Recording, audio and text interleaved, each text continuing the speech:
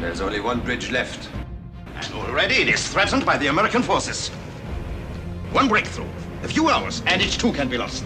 You must prepare to destroy the Remagen Bridge at the earliest possible moment. Destroy?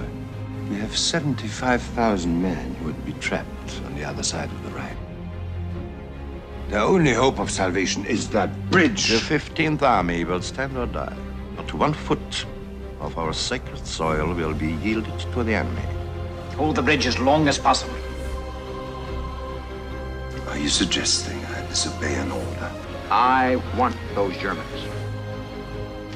You know something, Angel? You're a pig. I love you too, sir.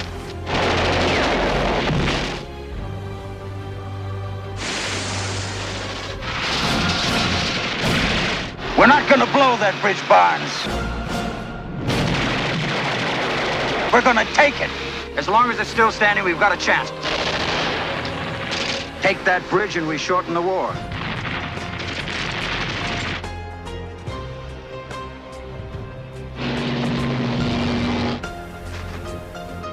They didn't teach you this in the convent.